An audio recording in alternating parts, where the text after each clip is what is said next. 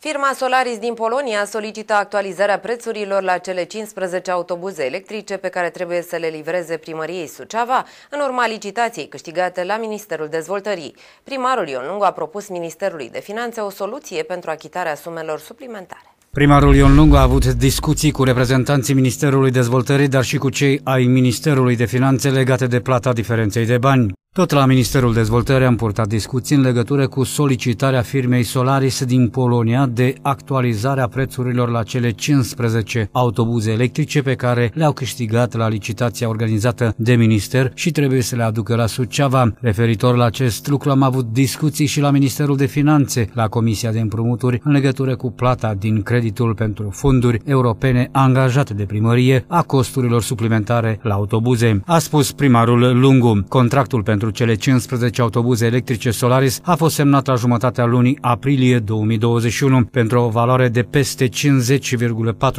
milioane lei, inclusiv TVA. Termenul de livrare stabilit este de 22 de luni. Furnizarea acestora se va face la pachet cu 19 stații de încărcare a mașinilor electrice, dintre care 15 pentru încărcare lentă și 4 pentru încărcare rapidă. În prezent, parcul auto electric al societății TPR Suceava este de 47 de autobuze și microbuze, urmând a ajunge la 62 cu cele 15 autobuze Solaris de capacitate mare.